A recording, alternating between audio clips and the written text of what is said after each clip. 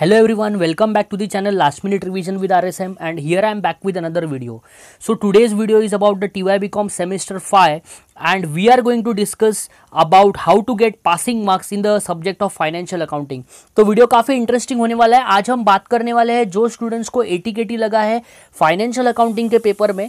तो आज हम डिस्कस करने वाले हैं कि फाइनेंशियल अकाउंटिंग में पासिंग मार्क्स कैसे मिले पासिंग से ज़्यादा मार्क्स आप स्कोर कर पाएँगे। अगर आप ये वीडियो को लास्ट तक देखेंगे तो आपको जितने भी आपके रिलेटेड डाउट्स है वो सारे के सारे क्लियर हो जाएँगे।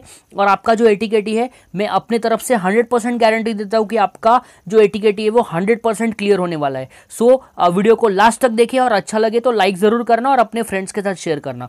चलो स्टार्ट करते हैं। सबसे पहले जो आपका सब्जेक्ट है फाइनेंशियल अकाउंटिंग का सेमिस्टर फाइव उसमें जो चैप्टर नंबर वन हम डिस्कस करने वाले that is investment accounting so investment accounting में क्वेश्चंस किस तरीके से एक्सपेक्टेड है? अब आप लास्ट मोमेंट में क्या पढ़ेंगे इन्वेस्टमेंट अकाउंटिंग में? तो इन्वेस्टमेंट अकाउंटिंग में आपको पढ़ना है शेयर्स रिलेटेड वरायटी और आपको पढ़ना है डिबेंचर्स रिलेटेड वरायटी एटलीस्ट आप ज़्यादा से ज़्यादा पोस्टिंग करने को ट्राई करें. एक्स इंटरेस्ट कम इंटरेस्ट के कैलकुलेशंस को समझे, वहाँ पे किस तरीके से पोस्टिंग होती है. और लास्ट पेपर में जो क्वेश्चन है उसको एक बार सॉल्व करके देखे सो so आपके बेसिक जो पोस्टिंग के मार्क्स है वो आपको इन्वेस्टमेंट अकाउंटिंग में मिल पाए। इतना ही आपको इसमें पढ़ना है, ज़्यादा फोकस नहीं करना है। नेक्स्ट जो चैप्टर है आपका इंटरनल रिकंस्ट्रक्शन अब इंटरनल रिकंस्ट्रक्शन का बेसिक पॉइंट ये है कि ये काफ़ी डिफ़िकल्ट और काफ़ी वास्ट टॉपिक है बिकॉज़ इसमें अगर हम जितनी ज़्यादा प्रैक्टिस करेंगे, उतने लेवल पे हम इसको सॉल्व कर पाएँगे। तो मैं कुछ आपको ऐसी एंट्रीज बताता हूँ जो आपके एग्ज़ाम में कोई भी क्वेश्चन आए, आपको ये एंट्रीज तो करनी ही करनी है और उसके मार्क्स हमें मिल जाएँगे। दैट इज़ शेयर कैपिटल का रिडक्शन जो इक्विटी और प्रेफरेंस का रिडक्शन होता है, उसका एंट्री करके रखे equity to equity to capital reduction preference to preference to capital reduction फिर fictitious assets intangible asset written off का एंट्री पढ़ के रखे capital reduction to goodwill to intangible assets to fictitious assets वो वाली एंट्री पढ़ के रखे असेट्स का रिवैल्यूड का एंट्री पढ़ के रखे असेट्स अगर बढ़ेंगे तो प्रॉफिट होता है कैपिटल रिडक्शन क्रेडिट हो जाएगा एंट्री होगा assets to capital reduction assets अगर कम होंगे तो डेप्रीसिएट होता है तो लॉस हो जाएगा कैपिटल रिडक्शन डेबिट हो जाएगा। काफ़ी इजी है। अगर आप ये बेसिक एंट्रीज भी पढ़ के जाएँगे तो आपको पासिंग मार्क्स तो 101 परसेंट मिलने वाले हैं। इसलिए इतनी एंट्रीज तो पढ़ के ही रखें। अगर आपको फाइनेंशियल अकाउंटिंग में केटी है तो इंटरनल रिकंस्ट्रक्शन में। अगर हम अगले चैप्टर की बात करें तो अगर हमारा अगला चैप्टर है तो that is called as buyback of shares तो बायबैक ऑफ़ शेयर्स काफ़ी इंपॉर्टेंट चैप्टर है, इसमें भी आपको मैक्सिमम मार्क्स मिल सकते हैं। लेकिन अगर आप वर्किंग नोट सही करोगे तो I repeat again if you prepare the working note properly then only will get marks otherwise आपको सीधा ज़ीरो मिल जाएगा। इसीलिए बायबैक ऑफ़ शेयर्स जब आप सॉल्व करोगे तो आप ज़्यादा से ज़्यादा फोकस करें वर्किंग नोट पे। वर्किंग नोट किस तरीके से बनाना है, उस पर फोकस करें। अगर हम सेम फाइव की बात करें तो लास्ट टाइम बायबैक के ऊपर दो क्वेश्चंस पूछे थे तो इस बार भी बायबैक के ऊपर क्वेश्चंस आएँगे। आपको दो वैरायटी का वर्किंग नोट प्रैक्टिस करना है और बेसिक जर्नल एंट्रीज पढ़ के जाना है। भले आप बैलेंस शीट नहीं बनाओगे तो भी चलेगा, लेकिन आप ये वर्किंग नोट को प्रॉपरली एनालाइज करें।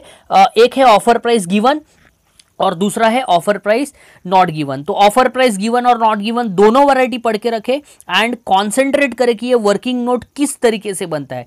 Because if you commit some error while preparing the working note your answer will be hundred percent wrong आपको जर्नल एंट्रीज में कोई मार्क्स नहीं मिलेंगे. That is also an important factor फिर अगला जो चैप्टर है, जो हमारे लिए काफ़ी इंपॉर्टेंट है बिकॉज़ इस चैप्टर में हमें पोस्टिंग के मार्क्स बहुत मिल सकते हैं। तो ये जो चैप्टर है, इसमें फाइनल अकाउंट्स में हम क्या करने वाले हैं? आप एग्ज़ाम में टैली कर, करने के पीछे मत जाना बिकॉज़ अभी हमारा सबसे इंपॉर्टेंट ऑब्जेक्टिव है how to get passing marks तो हमें सिर्फ़ पोस्टिंग करके आना है। पेपर में जितने भी पॉइंट्स है, उसका करेक्ट पोस्टिंग करना है। आपको पोस्टिंग अगर आ गया तो आपको इससे रिलेटेड पोस्टिंग के मार्क्स मिल जाएँगे। अब हम पोस्टिंग कैसे याद रखें? अगर आप तीन से चार साल के यूनिवर्सिटी के पेपर देखोगे फिर फाइनल अकाउंट्स के क्वेश्चन आए, उसके पॉइंट्स को एक बार देखे, उसकी पोस्टिंग देखे, और बाकी क्लोजिंग का पॉइंट छोड़ दे। क्लोजिंग करना ही नहीं है हमें। हमें सिर्फ़ पोस्टिंग करना है। बिकॉज़ एटी के में हमारा इंपॉर्टेंट टारगेट होता है कि हाउ टू क्लियर दैट हमारा ये टारगेट नहीं होता है हमको सेवेंटी परसेंट लाने हैं एटी परसेंट लाने हैं. बिकॉज़ अगर सेवेंटी और एटी परसेंट लाने होते तो हम लोग पहले ही ला के ला, ला लिए होते. इसलिए बेसिकली हमको अभी ये पॉइंट्स पे ध्यान देना है. फाइनल अकाउंट्स पे ही आपको ज़्यादा से ज़्यादा फोकस करना पड़ेगा बिकॉज़ इसमें पोस्टिंग के मार्क्स आपको मिल पाएँगे. अगर हम थियोरी और ऑब्जेक्टिव्स की बात करें तो आपको शॉर्ट नोट्स अटेम्प्ट करने हैं और ऑब्जेक्टिव्स आपके 40 मार्क्स पे है। तो 40 मार्क्स के लिए आपको ये ट्राई करना है कि इसमें आपको मार्क्स मिले तो ऑब्जेक्टिव्स के लिए आप प्रिपरेशंस तो कर नहीं पाएँगे बिकॉज़ ऑब्जेक्टिव्स तो किसी भी तरीके से पूछे जा सकते हैं। आप शॉर्ट नोट्स को पढ़े और मैं रिपीट करता हूँ कि लास्ट टाइम सेम फाइव के जो पेपर में शॉर्ट नोट्स आए थे, वो पूरे के पूरे आप पढ़ के जाओगे तो उसमें से बहुत सारे पॉइंट्स रिपीट नहीं होंगे। बिकॉज़ लास्ट टाइम के पेपर में से यहाँ पे शॉर्ट नोट्स रिपीट होने के चांसेस कम हो जाते हैं। लास्ट टाइम के पेपर के थियोरी क्वेश्चन इस टाइम रिपीट होने के चांसेस कम हो जाते हैं। तो जो स्टूडेंट्स लास्ट टाइम का ही थियोरी पढ़ के जाएँगे और ये सोचेंगे कि लास्ट टाइम जो आया था वही पढ़ लेता हूँ तो ऐसा बिल्कुल नहीं होगा। आपको नए शॉर्ट नोट्स पूछे जाएँगे। उसमें से एक हाथ दो शॉर्ट नोट्स आ सकते हैं, लेकिन आप वो तो जो शॉर्ट नोट्स है उससे आप अपने ऑब्जेक्टिव्स को क्लियर कर पाएँगे। सो थ्योरी ओवरऑल थोड़ा पढ़ के रखे जितने मार्क्स इसमें मिल सकते हैं उतने तो ताकि ये भी मार्क्स ऐड होकर हमको 100 में से 40 मार्क्स मिलने में कोई प्रॉब्लम अराइज ना हो। तो that was the video from my side अगर वीडियो अच्छा लगा है तो लाइक करना, अपने फ्रेंड्स के साथ शेयर करना, उनको भी थोड़ा हेल्प मिल पाए कि उनको किस तरीके से प्रिपरेशन करना है बिकॉज़ लास्ट मूवमेंट में हमारा यही टारगेट होगा कि how to score minimum 40 marks maximum you can score as per your point as concern as always till then bye bye work harder be smarter और अगर अच्छा लगा है वीडियो तो लाइक करना, अपने फ्रेंड्स के साथ शेयर करना।